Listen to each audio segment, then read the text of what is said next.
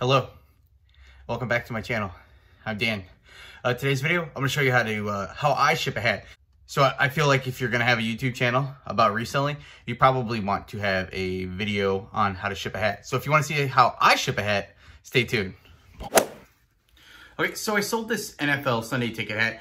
I uh, I bought this for nothing because my mother bought it for me, and it was two dollars though. So I had told her once I sell it, I will take her to lunch. So mom, you might watch. I'm not sure. She watches if I send her the the video. So uh, if, she, I'm not gonna send her this video because I'm gonna take her to lunch after I post this video. So if she happens to watch it, mom, we made $17 on this. Uh, after fees, I sold on Poshmark. And after fees, I made $13.60. So uh, $13.60, that should be enough to, oh, minus 25% for taxes. So, uh, uh, I'm not going to do the math.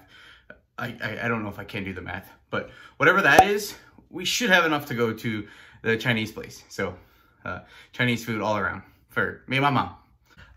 Okay, so to uh, ship this item, I use a poly bag and then I use a 7 by 7 by 7 box. I know a lot of people use 8 by 6 by 4 Um, honestly, when, when I was uh, learning how to ship a hat, uh, the video I watched um, was a 7 by 7 by 7 So I, I bought it and I, I like the boxes. So this poly bag is a little bit bigger than I like, but I, I ran I ran out of the other ones.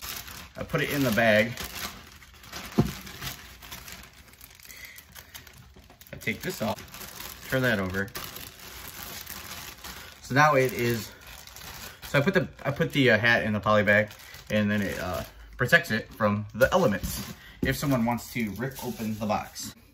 Here's the part where I would I would tape up the box with my eBay tape, but I sold this on Poshmark, so Scotch, very expensive tape things before I bought a tape gun, but I keep these just in, I keep them, I keep uh, some on hand just in case I sell something on Poshmark.